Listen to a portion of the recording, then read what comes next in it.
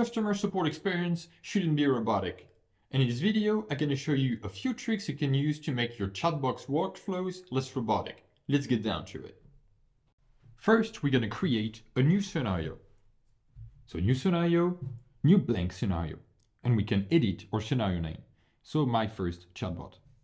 So the first step going to be to click on the entry gate and then plus, event and user message matches. I'm to delete this block because there is another way to add blocks, which is drag and drop. So I click on plus, event, and I drag user message matches. User message matches is basically a hint so the chatbot can know when it should be triggered or not. For instance, if I use star hello star, it would match any message that contains the word hello. If I use star demo star, it will match any message that matches demo. But here we're gonna just use star. So that means that any message will trigger our chatbot.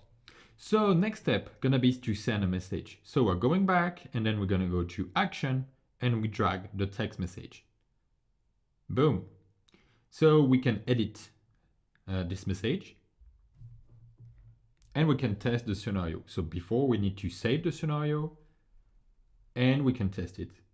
Now to make the bot a bit more human friendly, we can use the typing indicator. So we need just to drag it in the middle, like this. So we're gonna save again and test.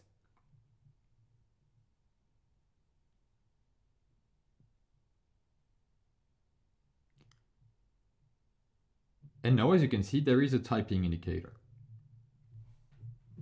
The username. So for this, we're gonna use a field, which is right there. So we drag it so this step is already pre-configured to ask the username, as you can see. The only thing we're going to do is to require uh, the user to complete this step before going to the next step. So we click on add input action. So it's going to automatically chain the next step and we memorize the value and we use name. Next step going to be to update the username. For this, I use plus action, update user, update username. We could use drag and drop instead, of course. We're gonna use the name that was stored in the bot memory just before, and we can send a new text message. We're gonna update the text message to say, thank you, name. And now we can test the chatbot. So we're gonna save it and start again.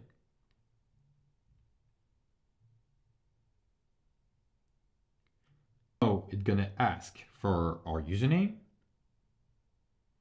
So we fill uh, the username. Now, as you can see, it says, thank you by reusing our username that was provided just before. Thank you very much for watching this video. Don't hesitate to subscribe to our YouTube channel to not miss any tips and tricks about Crisp.